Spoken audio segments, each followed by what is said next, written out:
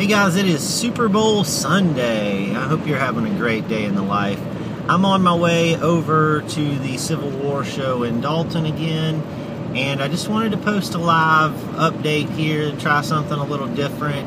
Um, I know some of you had had some questions about the Civil War show. Peter Sheridan had asked if I could show a rifle that fired a Minié ball and I thought I would do this live update in case any of you guys had any requests or questions, um, things you wanted to see.